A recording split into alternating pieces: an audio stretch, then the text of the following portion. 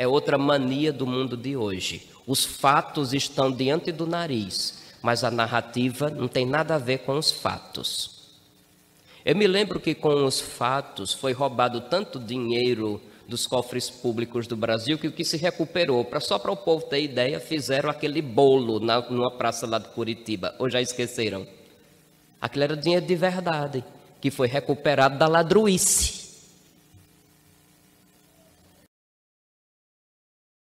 Para chegar um sujeito em rede nacional e minimizar a coisa. Teria outras coisas para dizer, mas não vou dizer não, porque senão os ânimos políticos se acirram. Aí você já sabe o que aqui é pode acontecer, não é? Como o STF não é meu amigo, eu posso me ferrar. Se o STF fosse meu amigo, talvez a minha situação fosse mais cômoda. Mas eu não sou amigo de ninguém no STF.